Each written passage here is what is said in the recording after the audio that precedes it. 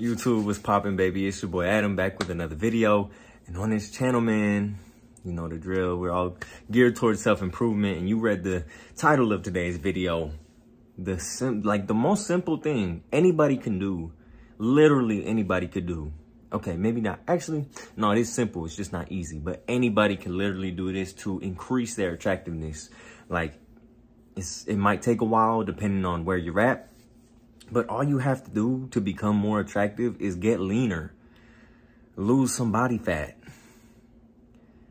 You know, like it's insane how much of an effect that has on your person because if you are a bit overweight, you're ho you holding you are holding a bit more body fat than usual. Your facial structure is going to be completely different the way people perceive you is going to be completely different. Now, like, for example, I'm bulking right now, right? I'm about 205 to 210, fluctuating in between that, that weight range. And my face is just a lot puffier.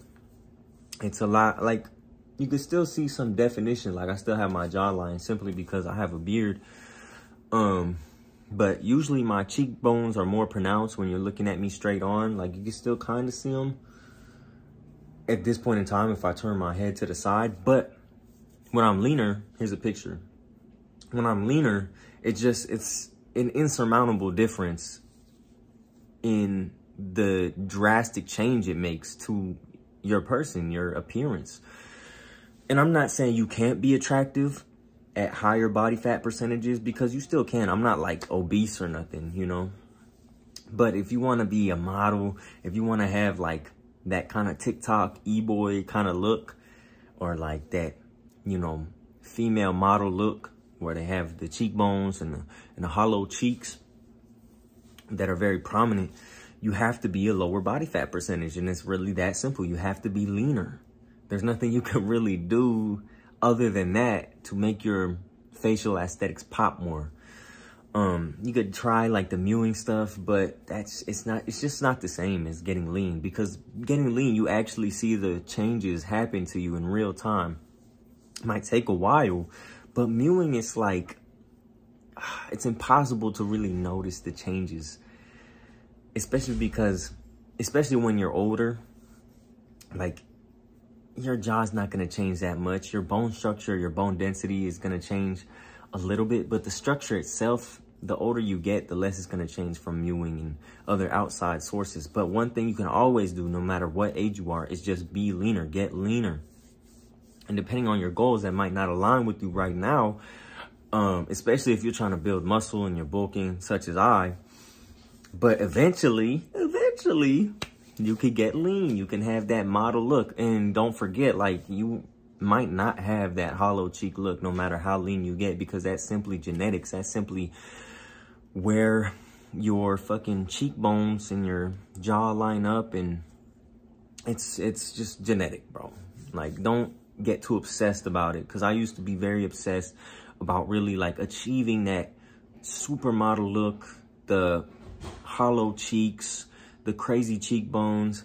And I can get crazy cheekbones because my cheekbones are high, but I'll probably never have the hollow cheek look unless I'm like fucking skin and bones, unless I'm just a beanpole, you know what I mean? So don't really, try not to obsess too much about your looks. Like obviously you want to look better, but just don't go overboard, okay? Like a lot of people on the internet have you doing today.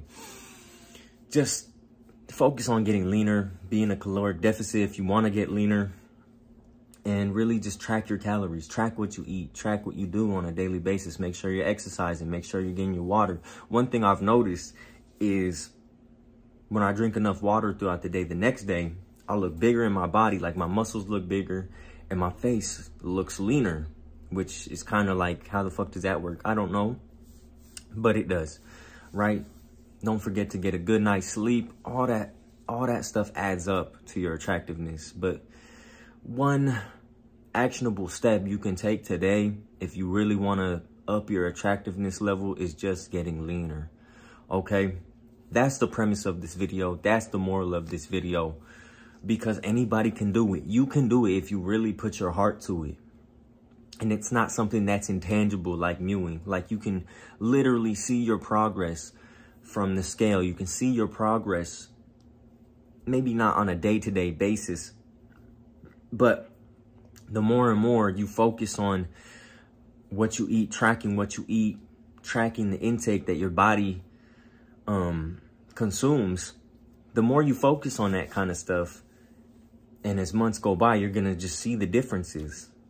So take that into account. That's literally the simplest. It's not easy, but the simplest way you can up your attractiveness within maybe six months. Six months. Give yourself six months. Go on a caloric deficit. Go on a, a cut. Again, depending on your goals. If you don't want to be super lean, if you don't, like, if you're trying to build muscle right now and that's counterintuitive, then don't do it. Don't do it. Wait till you build that foundation first and then cut down. Okay?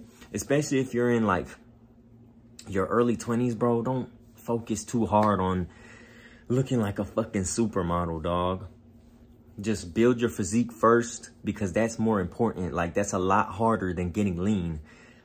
Force feeding yourself and getting like actually jacked is a lot harder than cutting down and getting lean, okay? So focus on that first, then get lean and you'll be surprised at how amazing you look at the end of the journey.